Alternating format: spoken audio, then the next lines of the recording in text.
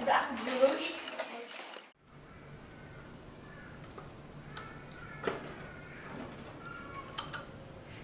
Lagi ngapain, King?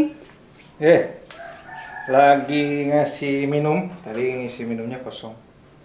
Jadi air minum itu kan teman-teman tahu ya harus penuh terus. Jadi kelinci itu sebetulnya perlu minum kan?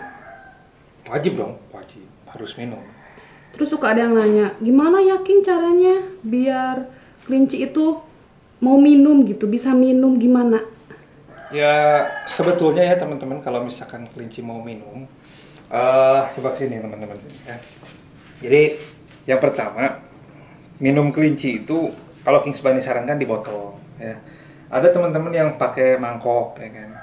Memang banyak beredar di luar sana di mangkok itu lebih bagus katanya. Tapi kalau menurut Kings Bunny nggak bagus juga. Kenapa? Karena pengalaman Kings Bunny, kelinci-kelinci yang jorok, ya kan, ingat ya, kelinci-kelinci yang jorok kan ada tuh yang misalkan kalau misalkan minum dia suka nyemburin kakinya ke tempat minum, ya kan, terus kalau misalkan minum mulutnya belepotan, nah itu kalau misalkan basah itu akan menyebabkan kelinci teman-teman itu menjadi penyakit ya. Biasanya penyakit yang sering nempel di situ adalah penyakit skebis teman-teman.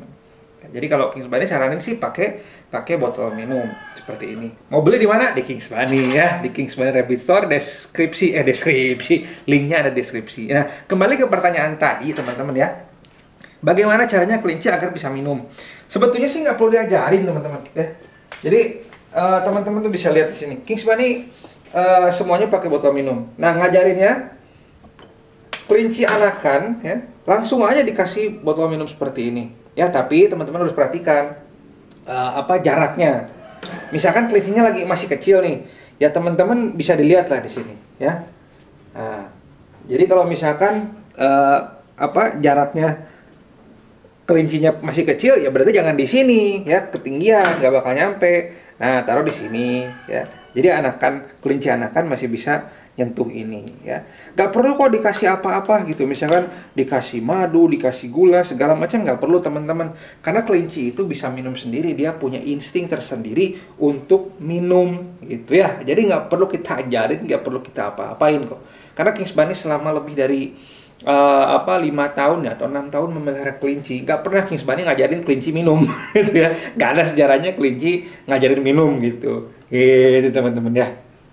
Oke deh. yang memerlukan peralatan, memerlukan obat-obatan dan vitamin kelinci serta aksesoris lainnya terkait dengan kelinci jangan lupa atau ya.